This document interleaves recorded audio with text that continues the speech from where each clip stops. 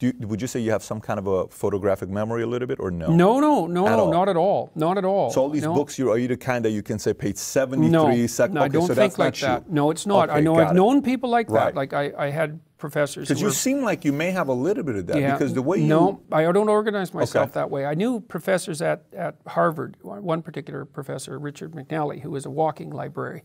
Man, he he, he, he extraordinarily well-read person, very very smart, very fast on his feet, and that's really how he seemed to organize his knowledge. He would know the author, he would know the page, he'd know the source, he'd know where the book was That's on so his shelf. That's so interesting to me. I- but I'm not like that. got it. I thought you were for sure No.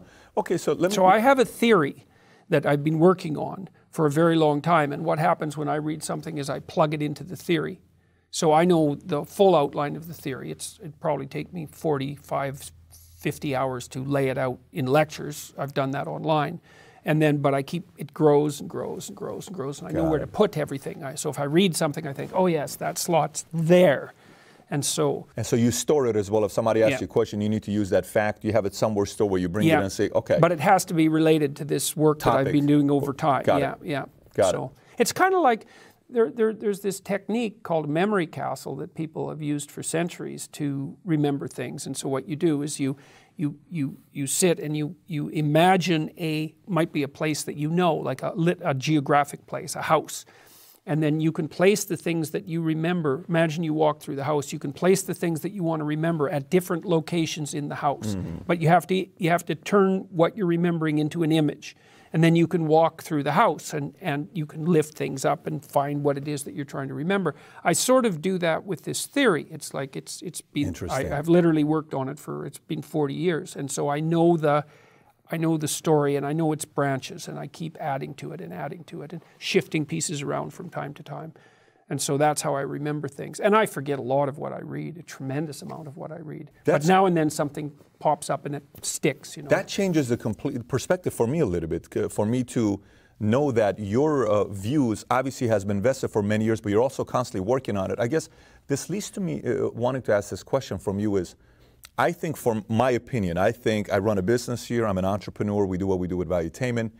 I believe the people that make it to the top of any space, they learn how to process issues better than others. They learn how to put things together, a system that helps them make a good decision. And then from there, they come out with their opinion, maybe based on some facts, based on whatever they collect together, data, to say, this is what I believe about God. This is what I believe about politics. Here's how I view economics. This is what I think works. This is what I think is the way we ought to live. The 12 rules for life, right? Here's what I think boys need to do, or women, or men, or this is based on this. What do you do? What is your processing when a topic enters your mind?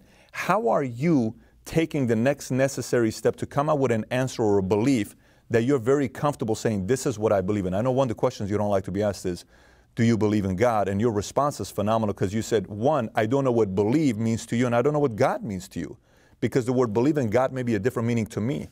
So that's a very interesting answer to give. But how do you process issues here when a new topic comes out to you? Kavanaugh comes out. Everybody goes through the issue with Kavanaugh, right? And you come out and, you know, afterwards, like, well, I think he needs to, you know. well, I, I usually do think about it. I, but I want to know, like, what's the step? Is Yeah, it a sure. step process? I'd love to hear that part. Sure. Well, I mostly I can think in images, and so if I'm building things, because I like to do carpentry and fix houses and that sort of thing, and so I like to build things. And if I'm figuring out how to build something, I can picture it, and so I can think in pictures. But I don't usually think in pictures. I usually think in words, and I think pretty formally in words. Like if I'm sitting down, let's say with the Kavanaugh issue, there was a question. The question Eric Weinstein asked was. Um, was there an alternative to him being confirmed or not confirmed? Because he sort of thought both of those wouldn't bode well for the country. And I thought, okay, well, what could the op- option possibly be? So I think that through in words and then think, well, he could, well, I eventually thought, well, he could be um, nominated and then how would I feel in a situation like that? Well, my, my nomination would be very contentious. Is there a way that I could help dampen the contentiousness and still retain my um, my reputation?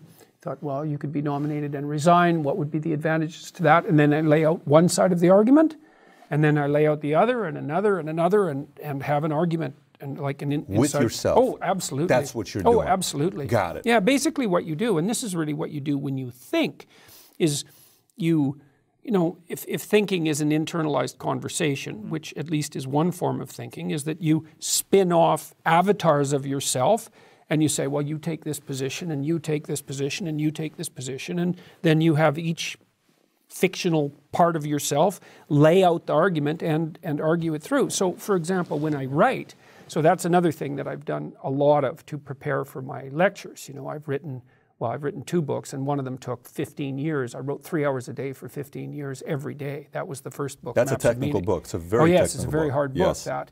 So so I laid out I laid out that argument, but the, the way I did it was well, first of all, you generate your ideas. Okay. That's the first part. There's actually a technical process that goes along with this. I, I use a computer in a particular way.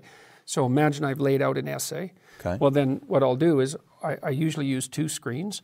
I take a paragraph out mm-hmm. put it on the other screen, break it into sentences. Okay. So I put spaces between all the sentences. Got it. Then I look and see if the sentences are organized properly, if that if that's the proper order. Try to reconstruct them so that they, that, that, that they make more sense, they flow better. Then I take each sentence one at a time and try to write a better version of the sentence, maybe three or four times. And every time I try to write a better version of the sentence, I try to think of all the ways that sentence is wrong and could be fixed. So at the level of the word, at the level of the phrase, at the level that of the technical. sentence. Oh, you bet. Like for Maps of Meaning, the first book, I probably wrote every sentence in that book 50 times. Are you kidding Oh no, me? absolutely.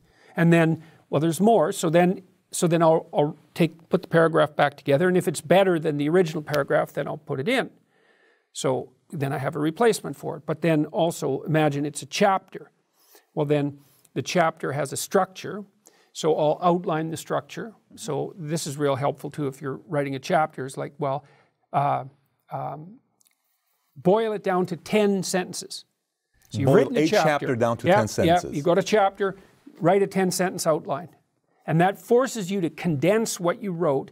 And with 10 sentences, you can see the argument. Does that argument make sense? Then you can cut and paste the paragraphs from the essay back into that structure. And if you do that three or four times, then you have a very, very tight argument. I have a writing guide on my website at jordanbpeterson.com under products. It's free. It's, it's, it's just a Word document, but it outlines how to do this. Imagine if you're writing, so here, here's what you have to get right if you're writing. The whole argument has to make sense as a whole.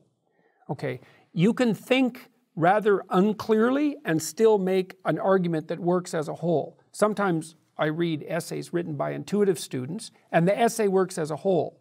Like there's a good idea in mm-hmm. it, but it's very badly written. But there's an idea there. So it sort of succeeds at the highest level. But then if, if something's written real well, it's every word is the right word, every phrase is the right phrase. The phrases are put into sentences properly, the sentences are organized into paragraphs properly. And you have to edit at every one of That's those levels. That's why I said piano. So it has mm. to be like if one, you know, pianist listen to another person play yeah. and one is off, they catch it, right? Yeah, a regular right. person's not going to catch it. Yeah. So you're, you're going to that level yeah. of perfection. Well, then I also read everything out loud. Do you seek perfection in that, in that area? No, but I, what I seek, I wouldn't say I seek perfection. What I seek is that I can't do it any better. So I know a book is done when perfection I can't write it any better. Ability. Yeah, that's right. I, I max my ability out. So if I can't and uh, if I if I'm at the point where when I'm starting to edit, I'm I'm not sure if it's better, then it's time to quit. Interesting. And I also often, if I'm writing, like I'll write something, and then wait. Like you have to wait a couple of weeks to look at it again because often when you're writing and you reread it, you read what you think you wrote because you're still you still have the ideas in your head that that are part of the cloud of ideas, and it's not until you forget the context in some sense that you can actually see what you wrote. And so there has to be pauses in your writing